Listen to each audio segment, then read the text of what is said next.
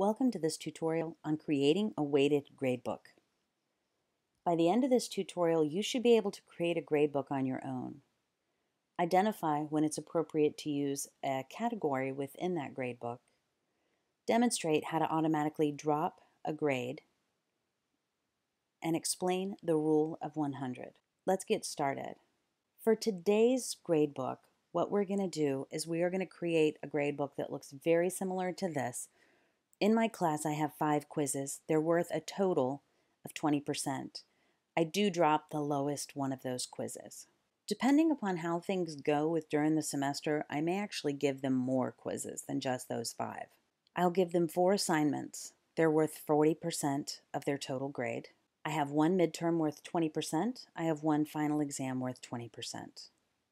So keep this in mind as we get started with our weighted gradebook. In my OAKS course, I'm going to choose grades from the upper navigation and grades. So now let's go to manage grades. This is where we're going to create our gradebook. And you'll notice in the blue new button, I have two options, item and category. Item is the actual gradable item, the, the column in the gradebook where I can put whatever percentage they got on their assessment. The category in a weighted gradebook is used for two things. One, it's used to categorize or group a bunch of like items that might share a weight. For instance, when I said all of my quizzes will be worth 20% of their final grade, I'll make a category called quizzes, and that's worth 20%. Whether I give them one quiz or 50 quizzes, it's only worth 20% of their grade. The other reason that you would use a category is that that's how you can drop the lowest or highest grades within a group of grade items. So, for instance, not only am I giving them five quizzes worth 20% of their final grade, but I'm dropping one of those quizzes. So, this allows me to do that dropping, plus, it allows me to give an aggregated grade at the category level. So, I'm going to begin by creating a couple of categories. So I'm going to choose category here, and I have to give it a name. call it quizzes. I can ignore the short name. I can ignore the description. And as we come down here, we're going to choose the weight. Now this is the weight for the entire category. So all quizzes, no matter how many I give, are worth 20% of their grade. If it is humanly possible in your gradebook for them to get more than 20%, you need to check this box, otherwise it will cap it at 20%. The next thing I have to determine is how I want these grades distributed.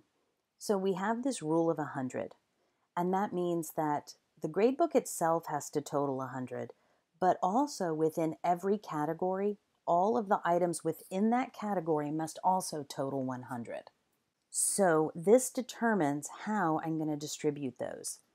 In my example, I plan on giving five quizzes and I plan on dropping the lowest one. So I could use this first one where I have to manually assign it weights, which means that when I create that quiz, I'll say it's worth 100 points, but it's worth 20% of this particular category. I could also then have quiz two worth 30% of this entire category. It's completely up to me how I choose to weight these. The next option is that OAKS is going to automatically create the weights for you and it's going to create them based on the number of points that each quiz was worth. So if I have one quiz worth 10 points and one quiz worth 20 points, then it's going to weight the second quiz more heavily than it will weight the first because it's doing it based on that point value. And the third item, which is actually the one that is most often used, distributes them equally across the category. So in this case, I'm going to have five quizzes in that category, and they would all be worth 20% of that particular category's grade. However, I'm going to drop the lowest quiz, and I can do that only in this area by choosing the lowest number of non-bonus items to drop for each user. I'm choosing to drop the lowest quiz score, so I'm going to put the number 1 here. If I was dropping the lowest 2, I would put the number 2, etc. But by putting this number one here, that's going to drop the lowest quiz score. So at the end, all of the quizzes will only be worth 20 or each of the quizzes will be worth 25% of that category because really I'm only counting four out of the five. Now I know that this sounds confusing, but when you see the final grade book, I think it's going to make more sense to you. All right, so all I've done here is given a name and chosen some items in this grading area. I gave the category its total weight, and then I determined how the different items would be distributed within that category. I'm going to choose Save and New because I'm going to do one for assignments as well. I'll call this category Assignments. And I said that my assignments here would be worth 40% of the total grade. But I'm going to distribute these weights here based on the number of points that each assignment has. And that's because the earlier assignments aren't as rigorous as the final assignments that I have. And so my first few assignments are only going to be worth 20 points, and my last few are going to be worth 100 points. So I want that weight to shift and alter based on its point value. All right, and I'll choose Save and Close. So here you see I have my quizzes category and my assignments category and my final and adjusted grade. But these are literally categories. I cannot click on anything. You'll also notice that my gradebook is unhappy.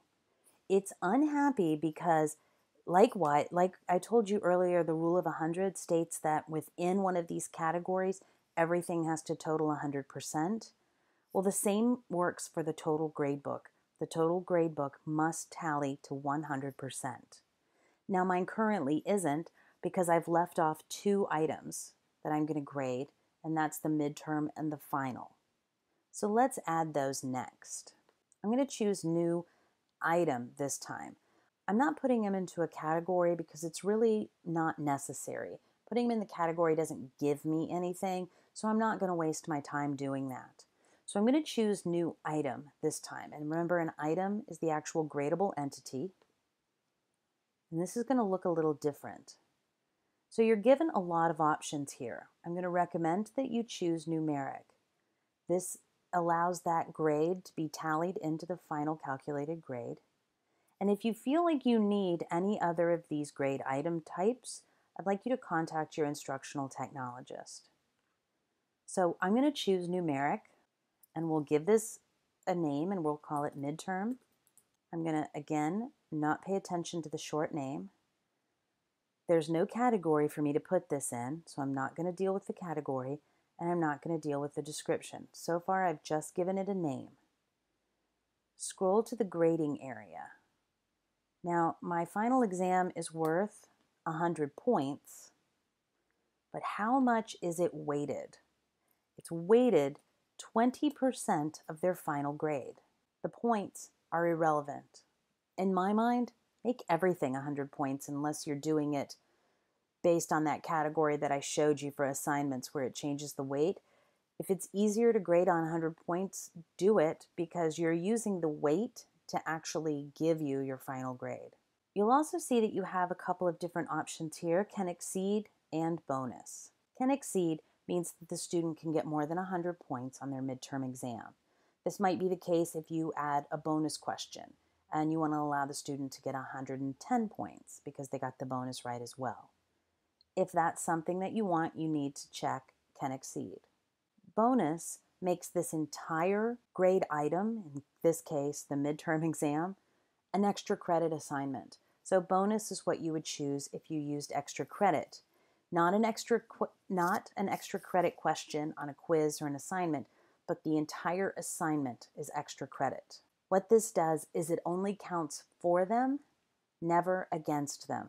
So the numerator will change based on how well they did on this bonus assignment, but the denominator for the gradebook will never change. So they can't be penalized for doing poorly, they can only benefit from a bonus assignment. Grade scheme, we're going to leave that as percentage.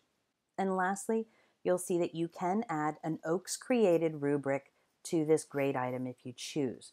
These rubrics are normally used at the quiz, discussion, or assignment level and very rarely are used in the gradebook itself, but know that you can add a rubric to the gradebook column should you choose. If we scroll back to the top, you'll also see restrictions.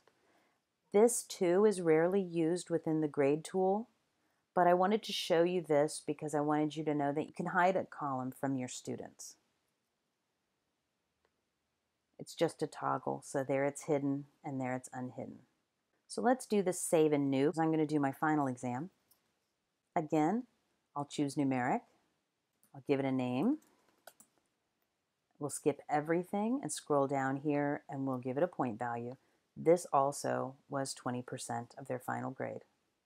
This time I'll choose Save and Close. Now you'll notice that our error message is gone from the top because all of my weights here on the side add up to 100. So there's my rule of 100 for the gradebook itself. Now let's start adding some quizzes and assignments. We'll do one of these together and then I'll just add the rest and we can discuss them. So under new item, I'm going to add my first quiz. And it's going to be numeric as well. And I'll call it quiz 1. Skip the short name, but this time under category, be sure to add it to the quizzes category. As I scroll down, I can give it its point value. It's worth 100 points. And here's the weight. And you'll notice that I can't change the weight. And you might be wondering, why is it weighted 100%? Well, I told Oaks to distribute the weight evenly across all of the items. Since I only have one item created, it has to be 100%. But you'll notice as I create more items, this weight will change. So I give it a point. I cannot change the weight because Oaks is controlling that. So we'll choose Save and New, and we'll create the rest of our quizzes. Okay, so we're back, and here you can see that I've created my five quizzes, and Oaks is taking care of the weights for me. It's evenly distributing this. Now, I did tell it to drop one. At the end of the semester, you'll see that it's dropped one, and it's now made each of these 25. And here I've put my assignments in, and you can see that it's changing the weight like I asked it to based on the point value for the assignment the 20 point assignment is only worth 11%, whereas the 100 point assignment is worth 58. Now you can see that I have a problem here. I have an assignment sitting outside of my assignments tool. This is assignment number four, which I messed up when I made it. So what I can do is next to the word assignment here, next to my assignment, I'm going to choose the drop down arrow and just go back to edit. I'm going to make this assignment four, and I'm going to make sure to put it back in my assignment category. It's worth 100 points. It's not going to tell me the weight yet because it doesn't know it until I complete the process. So I'm going to say save and close. And now that I've added my assignment back into the assignment category itself, you'll notice that again, it has shuffled all of the point values for me. So Oaks is completely taking care of how these weights are distributed and I don't have to do the math, which is a blessing. So at the very top, you'll see I have zero error messages, and that's because I've followed the rule of 100, meaning that each of my categories tallies up to 100, and each of the items within my gradebook at this level here also tally to 100. So as you can see from this gradebook, the weighted gradebook is a little bit more difficult to set up. A little bit more thought has to go into setting it up than in a points-based gradebook, but it actually is quite flexible if you get it set up properly at the beginning. At this point, I truly can add as many quizzes as I want into this category, and it will still always be worth 20%, and it will always change the tallies for me automatically.